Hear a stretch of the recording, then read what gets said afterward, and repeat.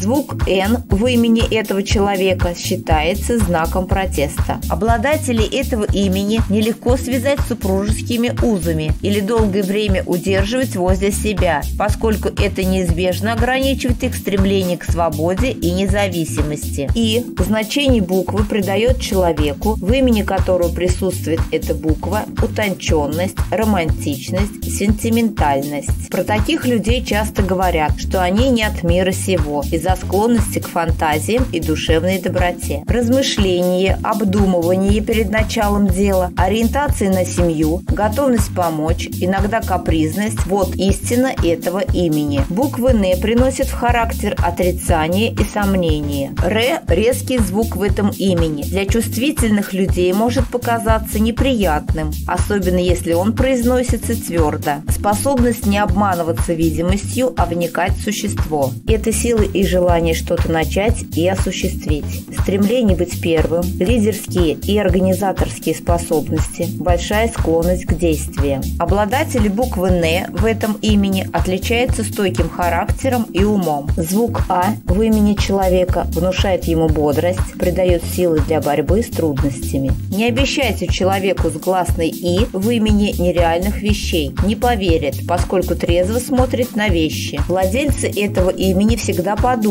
прежде чем начать действовать, но их действия в основном приводят к застою в делах. Владельцы этого имени будут проявлять во всем инициативу и не любят рутину. Очень часто человек с буквой «Р» в имени бывает резок и невоздержан в высказываниях. Одежду владельцев этого имени по их предназначению в основном светлая. Если обладатель имени носит темную одежду, то ему стоит задуматься, потому что светлая одежда повышает его нравственный и приятный тон. Буква «Д» в этом имени не со всеми звуками удачно сочетается и вызывает в сознании настороженность, что приводит к сложностям во взаимоотношениях. Иногда представители имени готовы принести в жертву алчности и наживе себя и даже близких. Дорогой друг, поставь лайк под видео и подпишись на канал. Мы зависим от твоей помощи.